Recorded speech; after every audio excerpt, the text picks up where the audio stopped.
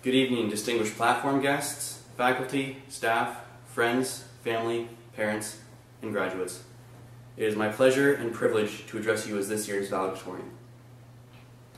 I'd like to start by saying how sorry I am for not being able to be with you in person on one of the most important days of our lives. I've been given a very special opportunity to study overseas in Scotland, which is why I can't physically be here. But I want you all to know that I'm with you in spirit, as well as in digital media.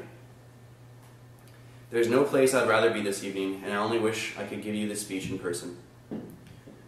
I want graduates, I want to thank you for giving me the privilege and honor of speaking on your behalf. I would appreciate it if you could make this easy on me and laugh and applaud after everything I say. Or at least tell me you did. By the way, I'd like to compliment you all on the attires you're wearing this evening. You're looking very sharp.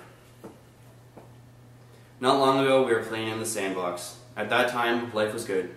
The thought of getting older and moving on never crossed our minds. Then we started grade 9 at BDSS. We met new friends and had new experiences. We got involved in many of the clubs and teams BDSS had to offer. Grades 10, 11, and 12 followed quickly, and here we are today with diploma in hand, ready to embark on one of the most important experiences of our lives, our future. We all know it'll take hard work to accomplish our dreams, but we can do it We've had great parents and teachers helping and teaching us along the way. To all the parents, congratulations. I know how much fun many of you are having now that your children are out of the house. But before you think, this is it, they're leaving home for good, think again. We still need you. We'll be back on weekends and on school breaks to get some home-cooked meals, and just for nostalgia's sake, we'll be bringing you a nice, big pile of laundry to wash. This journey started when we were little. You packed our lunches, you helped us with homework, and you did whatever else was needed in order to help us succeed. You taught us many things, and for these we are grateful. Fortunately, others helped too, our friends and our teachers. I believe it was Mr. Miyagi in The Karate Kid who said, there is no such thing as bad student, only bad teacher. Well, considering how amazing this graduating class is, I would say to all the teachers, you did a great job. We could not have asked for a better bunch of Mr. Miyagis to learn from, and I'm sure you all learned something from each of us as well. We all grew from the good times we had, and of course, the not so good times. Every so often, a few students came to school in a ridiculous outfit that had the writing Schulte rules on it, owing to a previous bet they had just lost. But the determination we had never stopped us from making another bet, even though that was often lost as well. Our teachers have been more than simply our teachers. They have become our mentors, and in some cases, our friends. You taught us more than just math and science in class. Someday, I urge you to ask Mr. Pello about his embarrassing failure at pole vaulting. His experience taught me to think before I leap and not to do what he did. Teachers, you believed in us when others did not.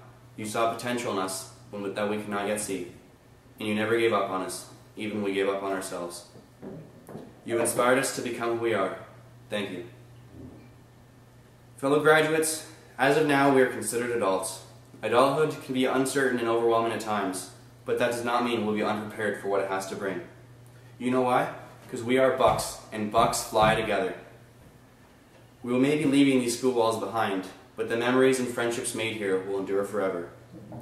All of us are moving off in our own direction. Some of us have returned for further studies, others into the workforces, and the rest of us have gone to university or college. Here, we will be on our own for the most part. Our parents and teachers cannot go with us. Their support and guidance will always be available to us when we need it. But the next step we must take on our own. These steps may lead us down the wrong path at times. However, these obstacles can be overcome with the lessons we have learned here. And in that sense, we will be Bucks forever. I want to conclude by thanking my classmates. If it was not for you all, I would not be here. You've made these last few years some of the best of my life, and I'm proud to graduate with each and every one of you on this day that celebrates our accomplishment. So today's our day, Bucks, a day where we can forget about upcoming exams and lectures and think about the great times we had together, and a chance to look forward to the great times ahead. But this is not the end, which is why I'm not going to say goodbye. It is only the beginning of our lives, where we can start to live out our dreams. The dreams that started at Beamsville District Secondary School. So for now, I'm going to say